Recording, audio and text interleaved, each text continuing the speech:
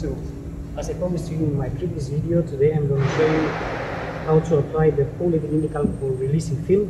And uh, here I have two variants. This is one which I ordered from Turkey and I, I consume it. And this is one from Rexco, which is made in USA. Basically, it is fit better for me. You can use also this, being half price cheaper than this one. Uh, this is what was remaining to me. I am not going to use these because I don't want to combine them even if they are the same uh, substance so it shouldn't have any reaction in between. But today i am going to use only this one. And this I will consume it for smaller application because uh, you have to apply or I apply minimum three layers. And I think this I mean I'm sure this will not going to be uh, enough to apply minimum three layers. Uh, this is my my rules uh, very uh, three layers but very uh, um, not so thick very thin. Three layers but very thin. And uh, some of my colleagues or my friends they are applying until the mold uh, have the same color as the polyvinylic alcohol blue or purple in instance. I'm not gonna do this and I tell you why because I made a mistake as I said in my previous video to build the mold directly in fiberglass and I didn't apply uh, gel coat or gel. This is a very big mistake because it's hard to grind and whatever but also it's a very big mistake because it's harder to see the color of polyvinylic alcohol and it's very hard to see where you uh, apply it and I will apply it with, uh, um, painting gun you can apply it also by brushing but uh, this is, will take a lot of time. And also the surface we're gonna have some irregularities. So this applying by uh, spray gun is the best way which is working for me and I recommend it also to you. Another thing is uh, you can buy directly polyvinyl in uh, spray spray but I find this the best option for me. Before to fill it up you have to set up your uh, air pressure on your line. I use 7 to 8 bars on my line so uh, I have to reduce it to minimum to maximum 4 bars because otherwise you're not going to spray it very well. I mean all the PVA will fly away. So I go to, I will go to um, decrease the pressure. Now looking on my manometer I have around 7 bars on my installation. I have to decrease the pressure until I'll get around 4 and you have to push. The real pressure you you push or you release the air a little bit more. And the opposite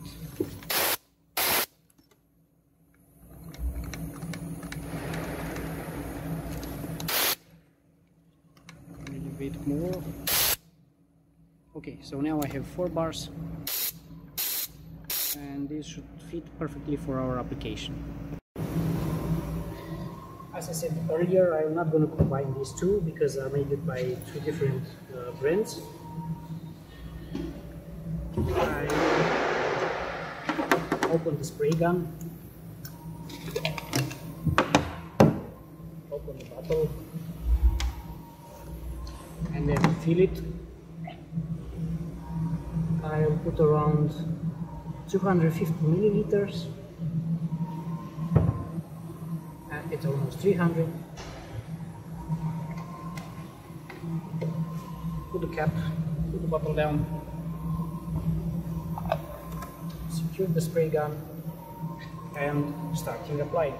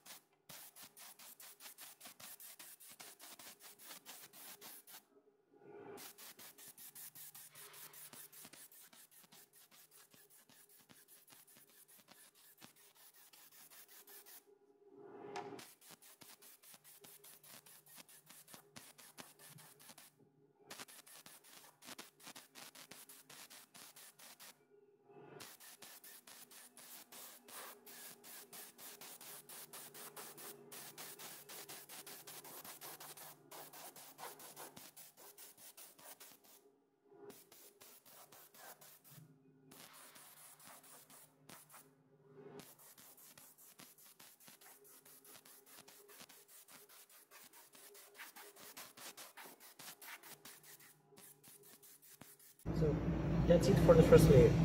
I look in the in the light, in the direction of the light, because as I said, if this should have, if this had before another color, or if I will apply, for example, a gray gel or a white one, I should be able to see the difference. But now I just see if it's shiny or not. So yeah, this is for the first layer, even if I have a little bit of polyvinyl alcohol remaining, the spray gun around 200 millimeters are enough for a layer for my mold. So I will wait this to be dry and then I will apply a second and a third layer.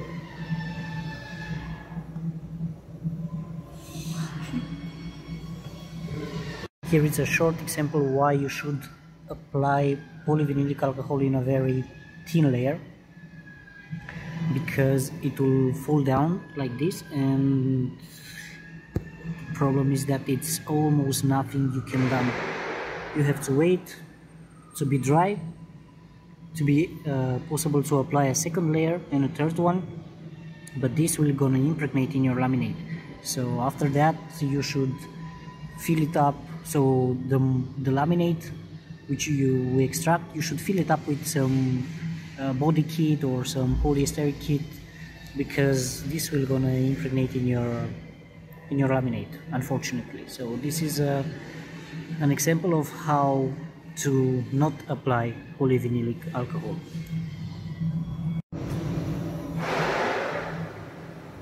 After first coat of polyvinylic alcohol it's dry, then we're going to proceed with the second one and this time I put, I put 200 millimeter, milliliter of uh, polyvinylic alcohol to be sure that I'm not going to apply too much.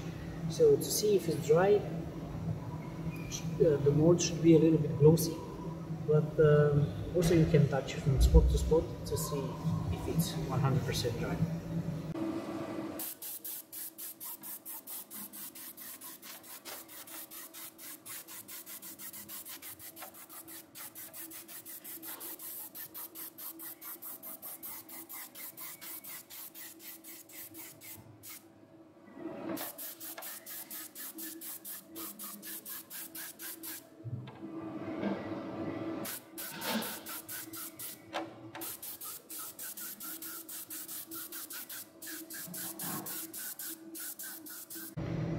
So should be enough for the second coat. We're gonna leave it to dry approximately 30 to 45 minutes, is depend by the ambiental temperature. It works for me at 45 minutes and then we're gonna proceed with the third coat and that will be the, uh, the last one.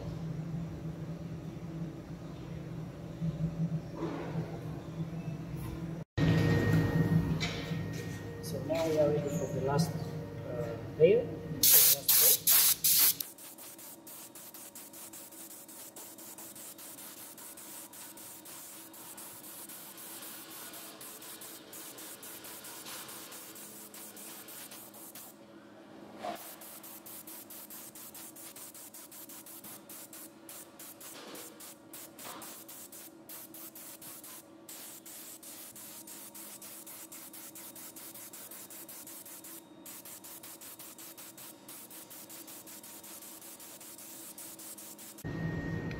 So that's it, the third coat of uh, PVA. As you see the color has started to change. Now I'm gonna let, it, uh, let this layer also to dry. Uh, meanwhile I'm gonna clean the tools. So to clean the paint gun, because the PVA is soluble in water, uh, the only things you have to do, you remove it, you uh, take it out or you disassemble and then just clean it with water and uh, should be no problem about cleaning. So with, only with water should be enough for cleaning the tools. Then after I will uh, let also this uh, layer to dry, I'm gonna apply the laminate.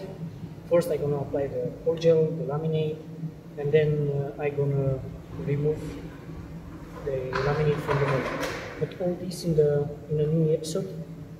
I hope you like it, you enjoy it. Um, hit the thumbs up if you like it. Uh, leave a comment below, and uh, that's it. Thank you very much.